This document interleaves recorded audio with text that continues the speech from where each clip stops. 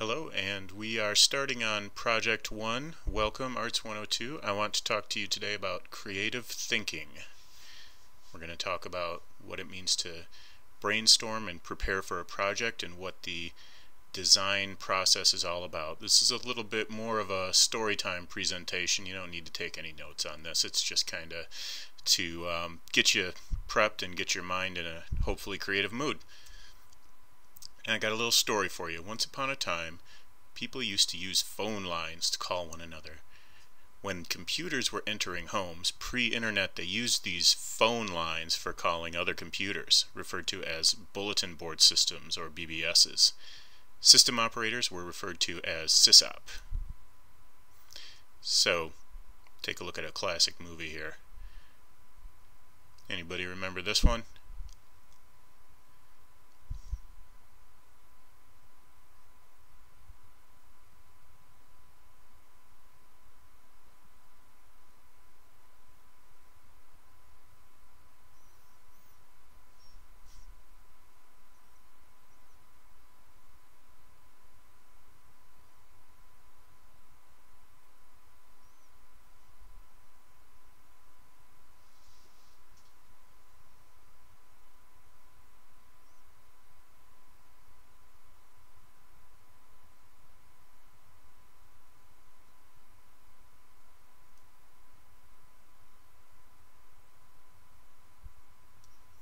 So, as you can see, this was kind of the precursor to the internet. Uh, people would call one system at a time. They'd exchange files, play games that were text-based, and use forums and chat, set up profiles, and basically cyber socialize in pretty much the same way many people do today. These computers were sometimes linked together with networks, but these networks were still comparatively closed. The internet was just a dream at this point the internet as we know it today. Graphics could not be part of these transmissions. People had text, as you saw in the War Games clip. It was 80 characters wide by 25 characters tall, and this is basically what a message window would have looked like. In the late 80s, for the first time, extended characters, including extremely primitive graphics and 16 colors, were introduced. This was used by sysops to make the BBS more visually appealing to the best of their ability. It was referred to as ANSI graphics. ANSI equals the American National Standards Institute. There were some who could take these primitive graphics and actually make them quite beautiful, speaking in relative terms here. There were some who could work within these unreasonable limitations and make actual art. And sysops, of course, valued this ability. To those whom decent ANSIs were not readily available, they were coveted. These artists were likely to be revered in a microcosm like Lansing because so few people could do it. People like your instructor,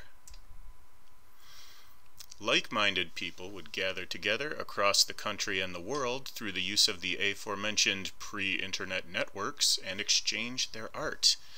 They formed groups. The best of the best in the world formed into two competing groups, ANSI Creators in Demand, shortened to the acronym of ACID, and Insane Creators Enterprise, shortened to ICE. And we had a thing for lowercase i's, I don't know, it's just the way it was. I was in ICE. So, if you could imagine, if you will, a, a high schooler finding an international audience for their artwork, eh, within that little niche, that is an epic win. And however, outside of that niche, people were just kind of clueless. They just give you blank stares if you tried to show this to them. Um, nobody really got it unless they were involved with that group nobody would have really cared unless they were involved with that group. If I had ever tried to convince anyone outside of that group of the medium's artistic merit. So why am I telling you this? Well, what I want to talk about is what it means to have ideas. This is just me working with this medium and finding an amazing little niche, and it was ju it just started as a simple little idea. It gave me a good start in digital design. Um, it did have merit, helped me pay attention to detail and start dealing with technicalities and all that jazz. But the big takeaway today is that the most important thing for an artist is to have big ideas. Do you think Rembrandt started out looking like this and Da Vinci started out like this? No. They worked their whole lives. They tried, tried, tried again, developing their ideas. They worked over and over, thousands and thousands of pieces worked up to the famous ones that you're used to. And that's what this is about. I just want you to try to have ideas. I want you to develop your ideas. I want you to start with brainstorming. Talk with your peers.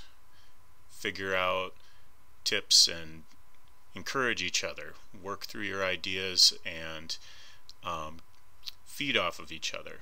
Uh, you're just going to have to throw things out there, just keep throwing things out there and keep trying.